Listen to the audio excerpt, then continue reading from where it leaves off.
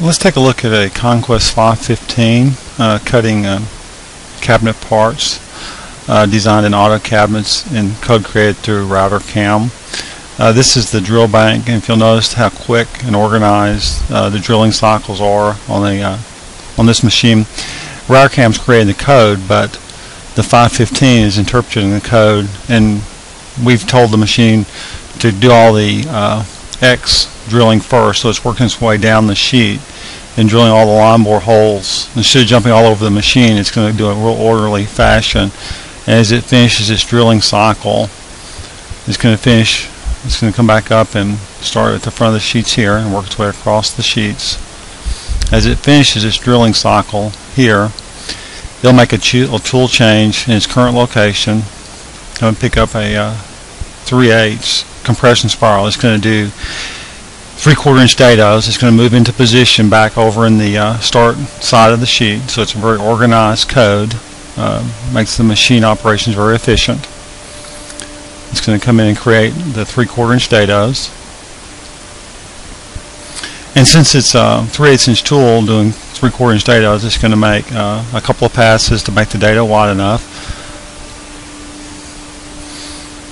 This way you can use one tool and create several different widths of dados, uh, grooves, uh, island fills, um, different sorts of machining.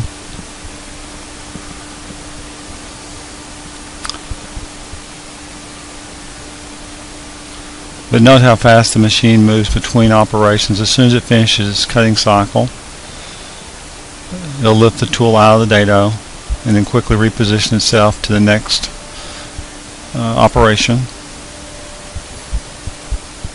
Conquest is a heavy-duty industrial machine, very fast, very very well made machine.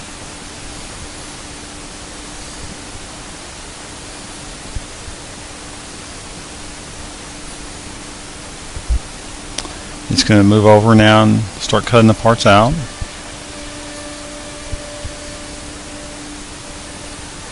Very smooth, very quiet machine.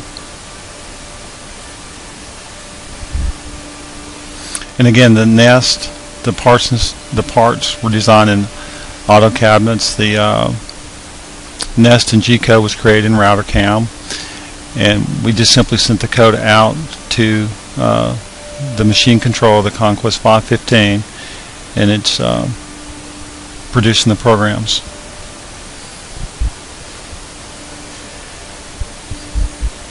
Again, you can see it's working its way across the machine table, so it's not jumping all over the table to make its cuts.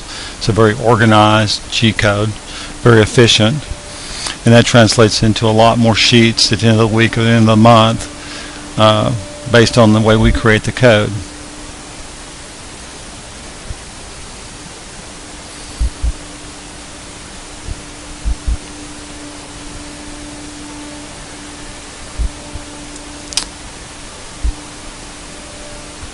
Thank you for your time. I just wanted to show you how a uh, top quality software and a quality machine can work together to produce uh, a lot of products very efficiently.